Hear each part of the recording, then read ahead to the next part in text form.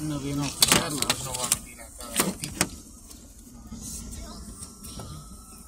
Entonces nomás asustan a la gente.